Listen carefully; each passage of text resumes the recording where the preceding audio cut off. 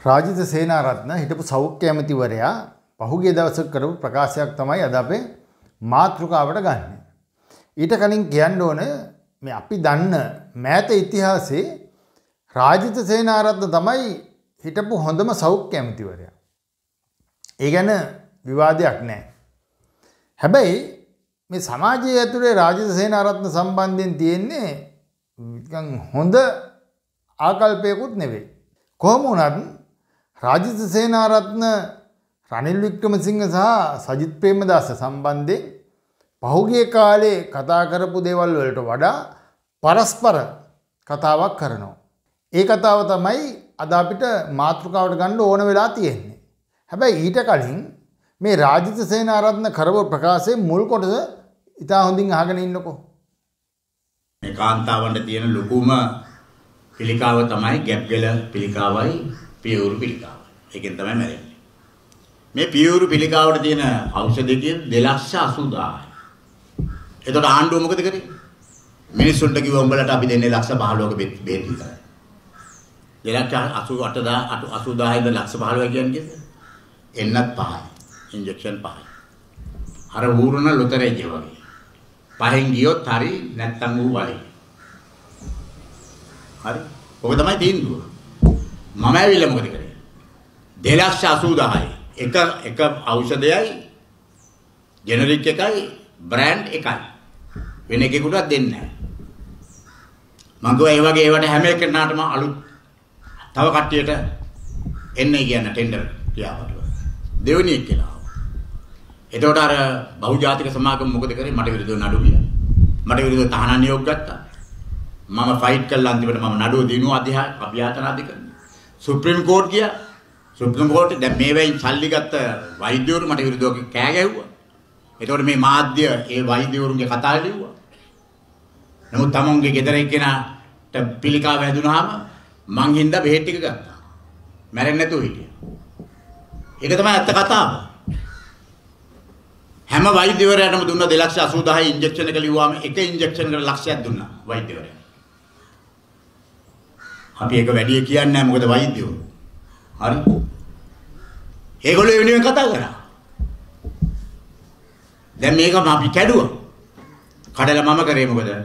ජීවිත කාලෙටම තමුන්නාසලට පිළිකා අවශ්‍ය මගේ කාලේ පිළිකාලේ දු ලේසියෙන් මැරුන්නේ. තුන්වෙනි ස්ටේජ් එකේ අන්තිම වෙනකම් ඔය එක එක තෙල් බෙහෙත් ගගා ඉඳලා ආවොත් මිසක් අනිත් ඔක්කොම ජීවත් වෙනවා. අද 6ක් 7ක් දවසකට මැරෙනවා පිළිකාරෝ. කවුද වට වගේ කියන්නේ? කවුද වට වගේ කියන්නේ? මම හිටියනම් ජීවත් වෙන මිනිස්සු අද මැරෙනවා. අද මැරෙනවා. ඉතින් මැරෙන්නේ කාගේ කවුරු හින්දාද? මේ දේශපාලකයෝ හින්දා. මොන අපරාධයක්ද මම කියන්නේ? ජීවිතයක් කියන්නේ. එක ජීවිතයක් කොච්චර වටිනවද? ඒ පවුලේ මිනිස්සුන්ට ඒ පවුල ජීවත් වෙනවද මැරෙනවද කියන එක තීන්දුව වෙනවා සමහරවිට එක මරණකින් පවුලක. તો දවසකට 6ක් 7ක් මැරෙනවා. අර තැලිසීමියා ළමයි මම තට්ටු වටේ සංකීර්ණය හදන බලන්න. ඒව නැවතුවා. එයාගේම දිස්ත්‍රික් මහලොකුට විසාබංග දිනනවා. එල මහලොකුට විශ්වාස භංග දෙනනවා. මේ රාජිතගේ ප්‍රශ්නය ඇතුලේ මේ කතාව ඇතුළෙත් ඔය විශ්වාස භංගයක කාරණාවක්. හැබැයි රාජිත සේනාරත්න කියලා කියන්නේ එයා සෞඛ්‍ය කැමති කාලේ ඔය කියපු පිළිකාරෝහලේ ලක්ෂ 15කට සීමා වෙච්ච ඖෂධ ලබා දීම ඒක ජීවිත කාලයටම දෙන්න ඕනෑ තරම් වටිනාකමකින් දෙන්න නියෝගයක් ගත්තා. එම තීන්දුව ගත්තා. අක්සිකාච නොමිලේ දෙන්න තීන්දුව ගත්තා. ස්ට්‍රෙන්ත් නොමිලේ දෙන්න තීන්දුව ගත්තා. හැබැයි මේ ඔක්කොම පිටිපස්සේ රනිල් වික්‍රමසිංහත් හිටියා. මොකද රනිල් වික්‍රමසිංහ තමයි එවකටත් මුදල් ඇමතිවරයෝ විදියට මේ රාජිත සේනාරත්නගේ අමාත්‍යංශයට මුදල් අනුමත කරලා දුන්නේ. හැබැයි මේ රනිල් වික්‍රමසිංහ සහ රාජිත සේනාරත්න අතර තියෙන බැඳීම මේ මේ රාජිත මේ යහපාලන ආණ්ඩු කාලේ කරපු දේවල්නේ කියන්නේ. වර්තමාන ආණ්ඩුව දක්වා අරගෙන එන්න රාජිතට උවමනාවක් තිබුණා. දැන් මේ කතාවේ ගොඩක් දේවල් තියෙනවා. රාජිත කරපු හොඳ වැඩ. නමුත් මේ රාජිත මේ කතාව ඉවර කරන විදිහම අහන්නකෝ. ඊට පස්සේ අපි කතා කරමු ඊටු ටික. දේශපාලනයේ සෙල්ලම් කරනවා කියන්නේ මිනිස්සුගේ ජීවිතත් එක්ක සෙල්ලම් කිරීම පමණයි. මං කිව්වේ රනිල් ගැන මිනිස්සු යම් බලාපොරොත්තුවක් තිබුණා. නමුත් එයාට හදවතක් නැහැ කියලා තේරෙනකොට අතාරිනවා. ඒක තමයි සාමාන්‍ය. අපේ සජිත් ප්‍රේමදාස මහත්මයාට හොඳ හදවතක් තිබුණා. තාත්තගෙන් ආපු පන්නරය දුප්පත් මිනිහට ආද. ඒ දවසක් එතුමා මට කිව්වා එතුමා මේ වෙකේ රැස්වීමේදී කිව්වා මම රාජිත ඇමතුමාට වැඩියම ආදරේ. එතුමත් මගේ තාත්තා වගේ හැම එකම කරේ දුප්පත් මිනිහා. අපි ඔක්කොම ගණන් හදලා අපේ මුළු ඔක්කොම කරේ මට සමහරව ඇහුවා ඔයා මේ පරණ වමේ ප්‍රතිපත්ති තියෙනවා. මම වමේ ඒ ඒ ඒ ඒ වම උගන්නපු ඒ සාර ධර්ම මම අද පිළිගන්නවා. ඒකෙන් තමයි දුප්පත් මිනිහා නැගිටින්නේ. ලෝකෙම. ඒකෙන් තමයි දුප්පත් මිනිහට අපිත් තත් අයිතියක් තියෙනවා කියලා අපිත් පුරවැසියෝ කියලා ගන්නවා. ඒක අරගෙන ඒ ක්‍රමවේද පැත්තක තියලා ඒ සාර ධර්ම ප්‍රත්‍යා කරනවා. අපි හැම තැනකදීම ගත්තේ ඒක. අපි බැලුවේ බැරිම මිනිහට කොහොමද? බැරිම මිනිහගෙන් පටන් අරගන්නේ ਉਹ විසඳුම. එතකොට අනිත් ඔක්කොටම යමක් හම්බෙනවා. මේක තමයි සහෝදරනි දේශපාලනය කියන්නේ. මේක තමයි සහෝදරවරුනි දේශපාලනය කියලා කියන්නේ. රාජිත කතා විවර කරන්නේ එහෙම. ඇත්තටම අපිටත් රාජිත සම්බන්ධයෙන් කියන්න තියෙන ඔන්න ඔය කතාව. රාජිත ඔය කතාව කරන්නෙත් ඔය දේශපාලනය හින්දා. එහෙම නැතුව හිතට එකඟව කරන කතාවක් නෙවෙයි. රාජිත කියනවා රනිල් වික්‍රමසිංහට ගැන යම් බලාපොරොත්තුවක් තිබුණා මේ රටේ මිනිස්සුන්ට. ඒ කියන්නේ රනිල් වික්‍රමසිංහ ජනාධිපති වුණාට පස්සේ. ඒකයි මේ කියන්නේ. හැබැයි එයාටත් හදවතක් නැහැ කියලා දැනෙනකොට යව අතාරිනවා. දැන් රාජිතත් රනිල්ව අතෑරියා. පහුගිය කාලේ එයා රනිල්ගේ ಗುಣ තමයි කියාගෙන ආවේ රාජිත. ඊට පස්සේ සජිත්ට දොස් කියාගෙන ගියේ. කොන්ද පණ නැහැ. අවස්ථාව හම්බුනාම ගත්තේ නැහැ. එයාට අගමැතිකම දෙන්න ගෝඨාභය කතා කරපුවම ගණ්ඩ තිබුණා. කොන්ද තිබුණේ එහෙම කියපු සජිත් සම්බන්ධයෙන් එහෙම කියපු රාජිත දැන් ආයේ සජිත්ට හොඳ කියනවා. රනිල් තමයි නියම මිනිහා වෙලාවට ගත්තා. එයාට කොන්ද තිබුණා, බය නැතිකම තිබුණා, වැඩපිළිවෙලක් තිබුණා. රනිල් ගැන රාජිත එදා කිව්වේ එහෙම. දැන් රනිල් ගැන කියනවා වෙන එකක්. ඒ මොකද්ද? අන්න ඒක තමයි සහෝදරවරුනි දේශපාලනය. මෙහෙම වෙන්නේ රාජිතට රනිල් සම්බන්ධයෙන් විශේෂ ඇල්මක් තිබුණා එයාට සෞඛ්‍ය ඇමති විදිහට වැඩ කරන්න පහුගිය කාලේ.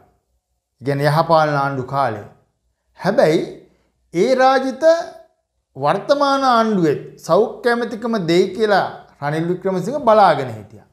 රනිල් වික්‍රමසිංහටත් ඇත්තටම ඕනකමක් තිබුණා රාජිතට සෞඛ්‍ය ඇමතිකම දෙන්න. දැන් ආණ්ඩුව බාරගත්ත ගමන්ම එන්න කියලා කිව්වනේ මේ අයට. රනිල් ජනාධිපති වුණාට පස්සේ එන්න කිව්වා. අගමැති වුණාට පස්සෙත් එන්න කිව්වා මේ අයට. මේ ඇමතිකම් අරගෙන මේ වැඩේ අපි ගොඩ දාමු මේ රට කියලා. හැබැයි ආවේ නැතුව විශේෂ කේවල් කිරීම ගොඩක් හිටියා. එතකොට දැන් මේ කෙහෙලිය රඹුක් වැල්ලට විශ්වාස භංගයක් ගෙනල්ලා ඒ විශ්වාස භංගයේ පරාද වුණාට පස්සේ රාජිත වෙන කතාවක් කියනවා. රාජිත පහුගිය කාලේ පුරාම බලාගෙන හිටියා රනිල් වික්‍රමසිංහට කිව්වා සෞඛ්‍ය ඇමතිකම දෙනවනම් මම ආණ්ඩුවට එනවා. රනිල් වික්‍රමසිංහට එක පාරටම පුළුවන්කමක් නැහැ රාජිතට සෞඛ්‍ය ඇමතිකම දෙන්න කෙහෙලියව අයින් කරන්න. එතකොට විශ්වාස භංගයක් ගෙනාවා විපක්ෂය. සජිත් ප්‍රේමදාසලා. සජිත්ලා විශ්වාස භංගය ගෙනාවට සජිත්ලට ඕන වුණේ නැහැ විශ්වාස භංගයේ පාර්ලිමේන්තුවට ගෙනල්ලා ඡන්ද විමසලා විශ්වාස භංගයේ ජයග්‍රහණය කරන්න. ඒ කියන්නේ කෙහෙලියෝ පරද්දන්න. ඒකට සජිත් සජිත් උමනාවක් තිබුණෙත් නැහැ. ඒ හේතුව මොකද? බැරි වෙලා හරි කෙහෙලිය විශ්වාස භංගයෙන් පරාද වුණා නම්. කියන්නේ විශ්වාස භංගයෙන් ඒ කියන්නේ විශ්වාස භංගයේ විපක්ෂයේ ජයග්‍රහණය කරලා කෙහෙලිය පරාද වුණා නම් කෙහෙලියට සෞඛ්‍ය ඇමතිකමෙන් යන්න වෙනවා. එහෙම යන්න වුණා නම් එතන හිස් වෙන සෞඛ්‍ය ඇමතිකමට රාජිත දෙවුරුන් දෙන්න බලාගෙන හිටියේ. ඒද සජිත් මේ විශ්වාස භංගයේ ඇත්තට ගෙනාවේ නෑ. රටේ තිබිච්ච තත්ත්වෙත් එක්ක විශ්වාස භංගයක් ගේනවා කියලා පම්පෝරි ගැහුවට අපි කලිනුත් මේ වීඩියෝ වල කියලා තියෙනවා මේ කතාව. පම්පෝරි ගැහුවට සජිත් ඇත්තටම කැමති වුණේ නැහැ කෙහෙලියට විරුද්ධව විශ්වාස භංගයක් ගේන්න. නමුත් ඒක ගේන්න වුණා. ගෙනල්ලත් ඒක පාර්ලිමේන්තුවේ තියලා තිබ්බා විවාදයට යන්නේ නැතුව. පස්සේ රනිල් වික්‍රමසිංහ තමයි කිව්වේ මේක ඉක්මනට ගන්න. මම දින දෙන්නම්. මේ විවාදය කරලා ඉවර කරන්න කියලා. ඒත් සජිත්ලා කල් දැම්මා. කල් දාලා කල් මරලා මේ කිව්වා නිකන් අර අස්සන් දසලක්ෂයක් එකතු කරනවා කෙහෙලියට විරුද්ධව. ඒ වගේ නිකන් නාට්‍ය ටිකක් කරා. දැන් කෙහෙලියට විරුද්ධව අස්සන් දසලක්ෂයක් නෙමෙයි කෝටි ලක්ෂයක් එකතු කරත් කෙහෙලියගේ ඇමතිකම අහෝසි වෙන්නේ නැහනේ. ඇමතිකම අහෝසි වෙන්නේ පාර්ලිමේන්තුවේ විශ්වාස භංගයක් ජයග්‍රහණය කරලා. ඒකනේ සාමාන්‍ය ක්‍රමේ. ඒතකොට ඒක ගන්න නැතුව අස්සන් එකතු කරන පොඩි නාට්‍යයක් කරගෙන ගියා. ඒ ගියෙත් දැයි මේ විශ්වාස භංගය මග ඇරගන්න. සජිත්ට බයක් තිබුණා. විශ්වාස භංගය ජයග්‍රහණය කළොත් රාජිත අහිමි වෙනවා. රාජිත යනවා ආණ්ඩුවට. රාජිත තමයි ඇමතිකමේ දූරුන් දෙන්නේ. ඒ මාර්ගය පැහැදිලිව තිබුණා. හැබැයි රනිල් වික්‍රමසිංහටත් තිබුණ ප්‍රශ්නයක්. රනිල්ටත් ඕනේ රාජිතව ගන්න. සෞඛ්‍ය ඇමතිකම දෙන්න. ඒ වුණාට රනිල්ට පුළුවන්කමක් නෑ දැන් ආණ්ඩුවේ ඉන්න මිනිස්සු බේද කරගන්න. එහෙමනොත් මේ ආණ්ඩුවට පවතින්න බෑ. එහෙම ප්‍රශ්නයක් තිබුණා. ඒ නිසා තමයි රනිල් වික්‍රමසිංහට සිද්ධ වුණේ විශ්වාසභංගය පරාද කරන්න. එයින්ද තමයි රනිල් වික්‍රමසිංහ ආණ්ඩුවට සහයෝගය දෙන සීල මන්ත්‍රීවරුන්ට කතා කරලා කිව්වේ රට ගිහින් ඉන්න අයත් එන්න මේ ලංකාවේ ඉන්න අයත් අනිවාර්යෙන් පාර්ලිමේන්තු යන්න ගිහිල්ලා මේ විශ්වාසභංගය පරාද කරන්න. ඒ විශ්වාසභංගය පරාද කරන්න කියලා කියන්නේ රාජිතට සම්බන්ධයෙන් තියෙන අකමැත්තක් හින්දා නෙවෙයි. කෙහෙලිය සම්බන්ධයෙන් තියෙන විශේෂ ප්‍රසාදයක් නිසාත් නෙවෙයි. හැබැයි ආණ්ඩුවේ පැවැත්ම නිසා කෙහෙලියගේ කෙරුවාව මේ රටම දන්නවනේ. මේ කෙහෙලිය සෞඛ්‍ය ඇමතිවරයෙක් විදිහට ෆේල් බවක් දන්නවනේ. මේ තුන් ලෝකෙම දන්නවනේ. හැබැයි මෙයාව රකින්නේ ඇයි? මේ කෙහෙලියට විරුද්ධව විශ්වාස භංගයේ විපක්ෂය ගෙනාවු විශ්වාස භංගයේ ජයග්‍රහණය කළොත් ආණ්ඩුවේ කඩා වැටීම මෙතනින් පටන් ගන්නවා. ආණ්ඩුවේ කඩා වැටීම පටන් ගන්නවා. එහෙම වුණා නම් ඊට පස්සේ ලෑස්ති වෙලා හිටියා මෙයා ටිරාන් නලස්ට විරුද්ධව විශ්වාස භංගයක් ගේන්න. මෙයා විපක්ෂයේ ලෑස්ති වෙලා හිටියා. කියන්නේ ලංකාවේ හැමතැනම ආයුධ සන්නද්ධ පිරිස් සැරිසරනවා. මිනිස්සු දවසකට එක්කෙනෙක් දෙන්නේ ඝාතනය වෙනවා. මෙන්න මේක පාලනය කරගන්න බැරි නිසා ටිරාන් නලස් අසාර්ථක ඇමතිවරයෙක් කියලා නම් කරලා එයාටත් විශ්වාස භංගයක් ගේන්න සූදානමක් තිබුණා. කේලියගේ විශ්වාස භංගයේ විපක්ෂයේ ජයග්‍රහණය කළා නම් ඊගා විශ්වාස භංගයේ ඉන්නේ තිරාන්ට. එහෙම ඇවිල්ලා ඇවිල්ලා ආණ්ඩුවට විරුද්ධව විශ්වාස භංගයකුත් එනවා. මේක දැක්ක රනිල් වික්‍රමසිංහට සිද්ධ වුණා කේලියව ආරක්ෂා කරන්න. දැන් මේ කේලියව ආරක්ෂා කරනවා දැක්කහම රාජිතර කේන්ති යනවා. අන්න මෙච්චර කාලයක් ෂෝක් පුතා කියලා හිටපු රනිල් ගැන මෙන්න බොහොම නරක විදියට හදවතක් නැති නායකයෙක් කියලා කියනවා. මෙච්චර දවසක් සජිත් පුතා ගැන කිය කිය හිටියේ නිකන් කොන්ද පණ නැති නිවට නායකයෙක් කිය කිය හිටපු සජිත් අපේ සජිත් හරි හොඳා. එහෙම තමයි කියන්නේ. ඕක තමයි දේශපාලනය. රාජිතගේ භාෂාවෙන්ම ඕක තමයි දේශපාලනය. දැන් ඇත්තටම මේ රටට මේ මොහොතේ ඕන වෙන්නේ ওই තක්කඩි දේශපාලනයද කියන ප්‍රශ්නයක් තියෙනවා. දැන් රාජිතලා තමන්ගේ ඇමතිකම වෙනුවෙන් නම් මේ මිනිසුන්ගේ හොඳ නරක මනින්නේ. තමන්ගේ ඇමතිකම වෙනුවෙන් නම් ඒක ගැන ප්‍රශ්නයක් තියෙනවා. ඉන්ද අපි අර මුලින් කිව්ව විශේෂ ප්‍රකාශය කියන්නේ රාජ්‍ය සම්බන්ධයෙන් අපිට විශේෂ ගෞරවයක් තියෙනවා. එයා සෞඛ්‍ය ඇමතිවරයෙක් විදිහට විශේෂ වැඩ කොටසක් කරපු මිනිහෙක්. රනිල්ගේ උදව්වෙන්. ඒ මිනිස්සයා මෙන්න මේ පටු දේශපාලනය කරනවා දැක්කහම අපිට පොඩි කලකිරීමකුත් වෙනවා. අපි රාජිතගෙන් බලාපොරොත්තු වෙන්නේ නැහැ ওই වගේ තුට්ටු දෙකේ දේශපාලනයක්. අපි බලාපොරොත්තු වෙන්නේ රාජිතගෙන් විශිෂ්ට දේශපාලනයක්. වමේ දේශපාලනය කරලා එහෙම ටිකක් විජය කුමාරතුංගල වගේ මානුෂීය මිනිසුත් එක්ක දේශපාලනය කරලා එහෙම ආපු චරිතයක්. හැබැයි අද පල්ලෙහාට වැටෙනවා.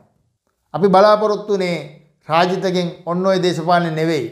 මේ රට බලාපොරොත්තු වෙන්නේ සමස්ත දේශපාලඥයින්ගෙන්. ඔය රාජිතගේ දේශපාලනය නෙවෙයි.